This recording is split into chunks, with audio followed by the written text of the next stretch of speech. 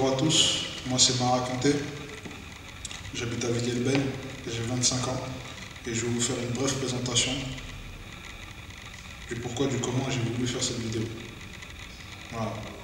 En 2007, on sait tout ce qui s'est passé à Villers-le-Bel, il y a eu des émeutes, des policiers blessés, des jeunes interpellés, une ville saccagée, au final deux morts et des blessés dans tous les sens.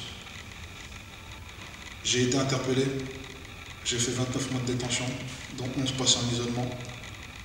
J'ai eu deux procès aux assises. Un premier à la cour d'assises de Pontoise qui a duré deux semaines. Un deuxième un an après à la cour d'assises de Nanterre qui a duré trois semaines. Suite à ces deux procès, j'ai été acquitté du chef de tentative de meurtre sur force de l'ordre, acquitté sur le port d'armes et le transport d'armes, et acquitté sur le trouble à l'ordre public. Voilà. Durant tous ces mois de détention, j'ai écrit.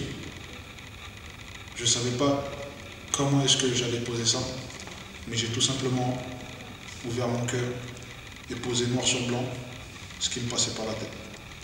Mon état d'humeur, mon esprit, mon évolution, mon dégoût, mes plaisirs, mes craintes et mes ambitions. Aujourd'hui, je suis là pour faire la présentation de mon livre Préjugés coupables que j'ai coécrit avec Aurélie Foulon. Et c'est pour bientôt.